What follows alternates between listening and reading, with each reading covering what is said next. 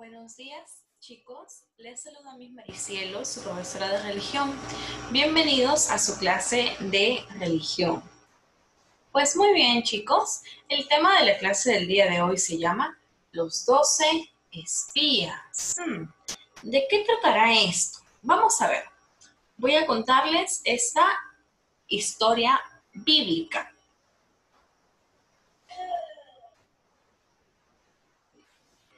por favor tengan su Biblia a mano y con ayuda de sus padres ubíquense en el libro de números, capítulo 13, del capítulo 1 al 33. Pueden ir siguiendo la lectura junto conmigo. La lectura de la Biblia, esos capítulos y versículos es un poco más largo, más extenso.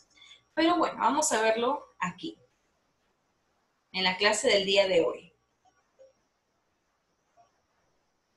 Muy bien, nuestro tema se llama los 12 espías. Pero, ¿qué es un espía? Pues un espía es una persona que observa atenta y disimuladamente lo que dice o hace otra persona. Un espía observa por interés o porque otra persona le ha dicho que observe. Y también y lo hace para conseguir información secreta o para descubrir algo. Generalmente los espías observan lugares fuera de donde ellos viven, ¿no? Como un país extranjero o a los enemigos, por así decirlo. Pues bien, ya sabemos que es un espía, ¿no? A una persona que observa atenta y disimuladamente. Pues bien, entonces vamos con nuestra, con nuestra historia bíblica que se llama Los dos espías. Pues bien, esto sucedió Esto sucedió en Egipto, sí, en el desierto de Egipto sucede que los israelitas se fueron del monte Sinaí, se fueron de ahí y estaban viajando por el desierto hasta llegar a un lugar que se llamaba Cádiz. Los israelitas estaban caminando por aquí por el desierto, hacía un calor sofocante, la arena que los molestaba y todo, pero ellos seguían caminando. Aquí están los israelitas. Pues bien, los israelitas se fueron del monte Sinaí y fueron viajando por el desierto. Fueron viajando por el desierto. En un momento, Moisés, quien estaba con los israelitas, recibe un mensaje de Dios y Dios le dice, envía doce hombres, uno de cada tribu, para espiar Canaán, la tierra que voy a dar a los israelitas. Sucede que Canaán era la tierra prometida para los israelitas. Entonces Dios le había pedido a Moisés que les dijera a estos israelitas que tenían que ir a Canaán 12 espías y tenía que ir uno de cada tribu un representante de cada tribu. Pues bien, y entonces Moisés les comunicó eso a los israelitas. Así que Moisés escogió a doce hombres y les dijo, vayan a Canaán y averigüen si la tierra es buena para sembrar. Averigüen también si la gente es fuerte o es débil y pues cómo viven si viven en tiendas, en ciudades, eso quería saber Moisés, ¿no? Entonces, los dos israelitas, los dos espías, iban a ir a esta tierra, iban a ir a Canaán. Miren qué bonito es Canaán, ¿no? Era Canaán. Y pues, ¿qué tenían que hacer? Tenían que averiguar, tenían que observar cómo era la tierra, si era una tierra buena, fecunda, para que pudieran haber sembríos de alimentos, de frutas, de vegetales. También querían saber cómo era su gente. cómo era la gente, si las personas eran fuertes, si eran débiles, en dónde vivían, eso querían saber. Entonces, los dos espías fueron para Canaán, todos fueron para espiar. Y entre ellos iban Josué y Caleb. Estos personajes son muy importantes, Josué y Caleb. Acuérdense de ellos, chicos. Aquí están José, aquí, ajá, José y Caleb. Muy bien.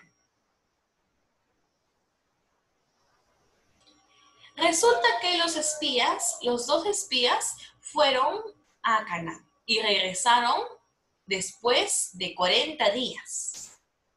Después de 40 días regresaron al desierto con los demás israelitas. Y entonces trajeron higos, granadas y uvas.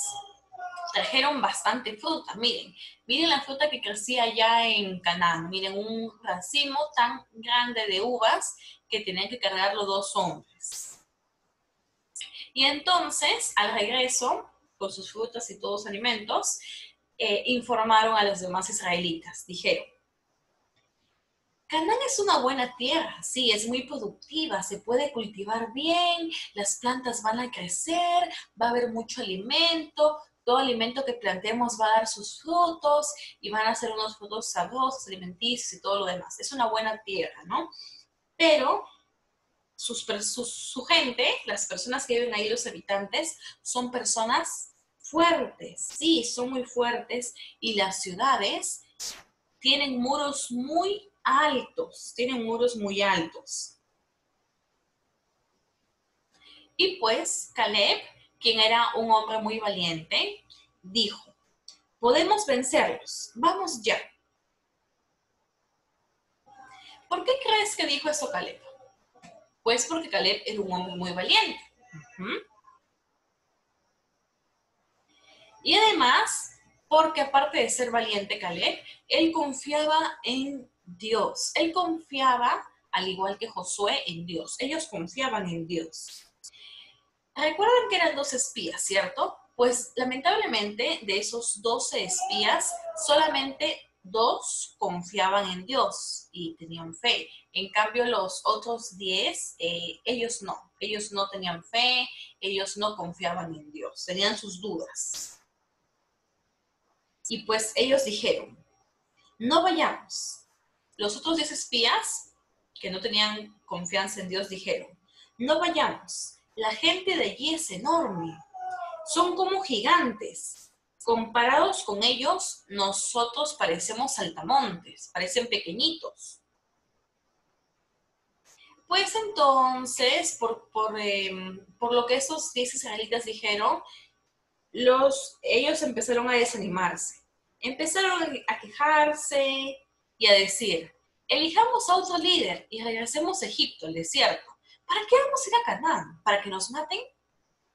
Y Josué y Caleb dijeron, mejor vamos a obedecer a Dios. Hay que obedecer a Dios porque eso es lo que Dios le ha dicho a Moisés, que vayamos a Canaán a ver cómo es la tierra, porque nos ha prometido esa tierra, ese lugar.